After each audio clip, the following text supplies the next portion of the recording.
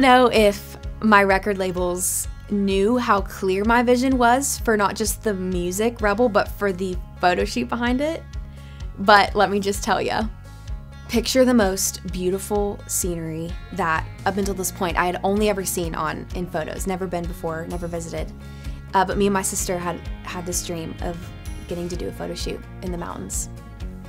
So when I told my management about my idea to go to Jackson Hole, Wyoming, their first reaction to it was like, "Oh my gosh, this is to be crazy expensive."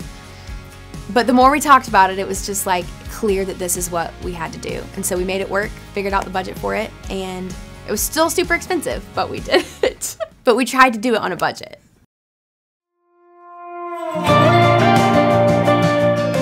When we first got into Wyoming, I was just freaking out the whole time because I was like, I can't believe that my dream that I've wanted for so long is coming true. Like we are here in the moment, we're making it happen. And it was so beautiful, more beautiful than I could have ever dreamed. We got to stay on this ranch in the middle of Wyoming. It was so cool. No service, like literally so detached from reality. And it, we were out there for a few days and it was just so cool getting to be out there in God's creation and just the inspiration just coming, you know, like even more song ideas by being out there and just being able to see the record come to life visually was so cool. So we got to the Grand Teton Mountains, which is so like such a cool place to get to shoot in front of. You have to get a permit. It's very complicated. We were just hoping and praying we could get it, and we did. Thank God. So we're getting there. It's our last, very last scene of the whole photo, two-day photo shoot. We get there, and we're with like this park ranger lady who's taking us to the Grand Tetons, and all of a sudden there were this herd of buffalo migrating, and so everybody stops, and basically we can't move until they finish migrating because I guess they could attack us or something.